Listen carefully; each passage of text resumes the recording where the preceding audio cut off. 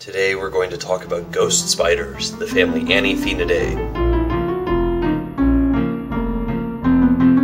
This is a family of sly spiders who are very good at not being seen. They are ambush predators and usually active at night.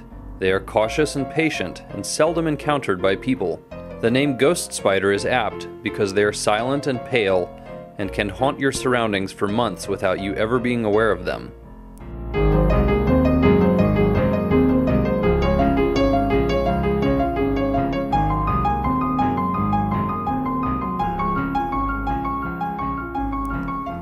A ghost spider has a long, flat cephalothorax and chelicerae that point down and slightly forward.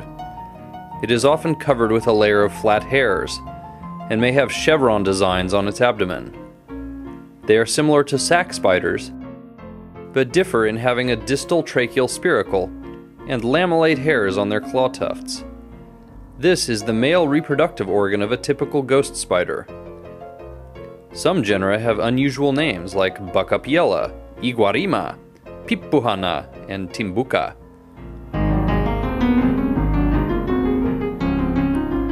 Ghost spiders are harmless to humans.